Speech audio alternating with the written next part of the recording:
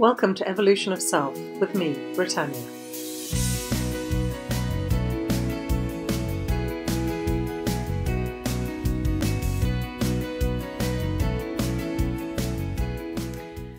Today I want to talk about life as a reflection of what is going on inside of you. And I mean, if you're into the kind of stuff that I share, then I'm sure that you will have seen this already. But I hope what I'm going to be sharing today, or some of the examples, will give you will be a bit fresh and might help you see it in a deeper way. So I'm going to sort of speak a little bit about Esther and um, Jerry Hicks and Abraham Hicks um, because I think they explain it so beautifully. So we all have, we all vibrate at a certain energy and we have an energy field which they call the vortex. And in this energy field, you have been putting things ever since you had an energy field. You've been putting all the beliefs, the things that you think can happen and should happen that aren't happening. You've been putting in what you think is right and what you think is wrong. You've been putting in what you think is good and what you think is bad. You've been putting in, you know, behaviors, how you think people should behave and how they shouldn't behave. You have this energetic sort of suitcase, but it's not a suitcase, that's not really the right um, thing, but this energetic body around you that is full of everything that you've put into it. Now, none of the things in there ever completely go away, but you can activate them and deactivate them by how you focus. So the more you focus on something and the more you are excited and aligned to it, the more likely you are to see it showing up in your life. The more you focus on it and the more upset and unhappy about it you are, the more you're likely to see that showing up in your daily life. So it doesn't really matter what you focus on, but the more energetically you're charged with it, be it positive or negative, it doesn't matter, the more likely it is to show up in your environment. And I was actually walking with a very dear friend of mine today, and um, we were talking about Facebook, and she was saying how they she gets all these posts about um, conspiracy theories and people that are angry with the government and things like that, and she wished she didn't get them there anymore. And I said to her, which sounds a little big headed, so please forgive me for that, that I don't get those things. That on my Facebook feed it's full of people being positive and caring and loving. But I did share that occasionally I do get a post that isn't in alignment with where I, where I would like to see my life. But I just flick past it. I don't focus, I don't attach to it, I don't read it, I don't like it, I don't comment on it, I don't share it, I don't interact with it at all. I simply flick past it. And I wanted to share that with you because that's what it's like about the things in our energy fields. Because we have all of this stuff. I have conspiracy theories, I have people that are angry with the government. It's all there, I'm aware of it, it's in my energy field. But I just don't give it attention. I instead would like to focus on love and kindness and um, a way of being that gives me joy and happiness, um, connectedness, supporting. Um, all of these wonderful things are what I want in my life. So they are what I give focus to.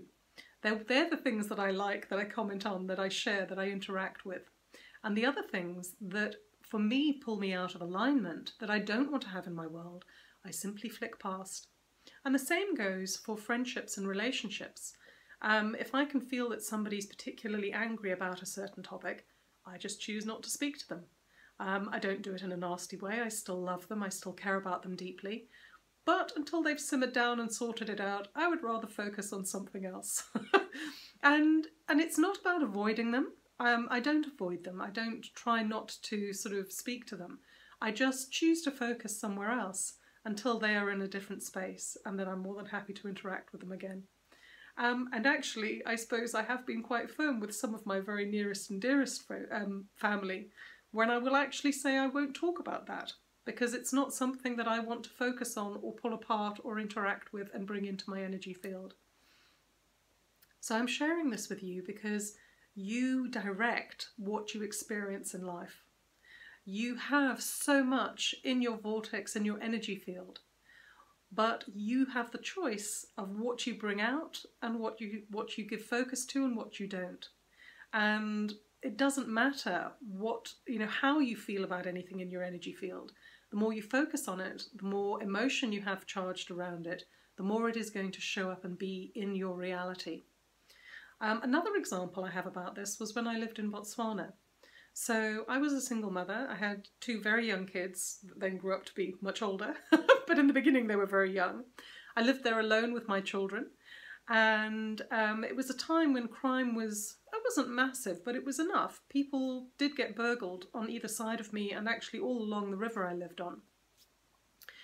Um, we also went through a major drought and um, power outages and all sorts of things.